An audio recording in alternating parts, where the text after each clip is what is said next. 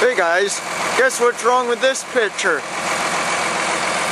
Yeah, big old Dodge is jumping the whatever great good old Ford. Remember, fucked over on Royal Deal. That's what Ford means. Or something like that. That's what my boss said. Yeah, that jumper cable sucked up there and then they come around up into this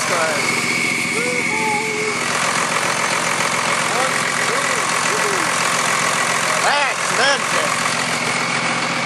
This thing ain't. Well, I figured I'd put the batteries charged for a couple of seconds. I just came back from a trip into town on this nice, good, sleety day where it's mostly sleet today. And oh yeah, this is one nice thing too about having a locker in the rear is one, two, you see Posi?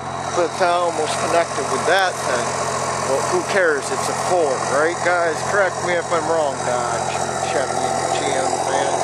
It's a Ford. Fucked over on Royal Deal. Or fucked over rebuilt Dodge. Or for our retarded daughters. Or if you guys got any more, let me know. I, am all jokes from the distant noise. It's happening now. It's a rest fucking now. that fucker. It runs. Alright. Let's see if the mighty Dodge has been charging the batteries up in this hunk of shit for Supposedly the batteries were dead. Well, the starter, I guess, kept spinning and whatnot, so it ain't the starter.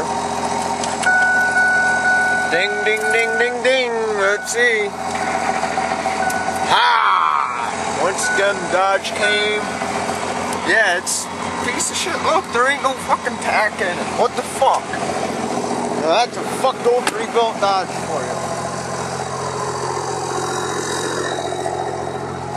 There, once again, Dodge, Junks, Ford, Dodge, Ford, Dodge, Ford. What one do you guys take? Do you guys take the blue oval? Or do you guys take Ram something?